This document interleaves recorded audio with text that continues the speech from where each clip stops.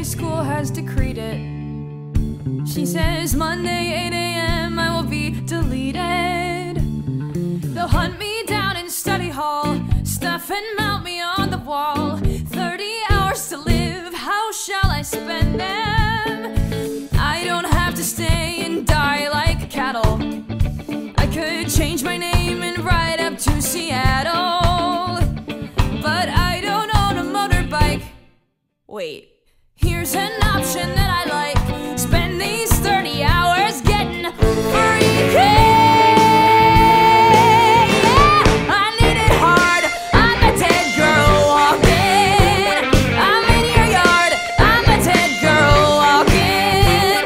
Before they punch my clock, I'm snapping off your window lock. Got no time to knock. I'm a dead girl walking. Veronica, doing in my room?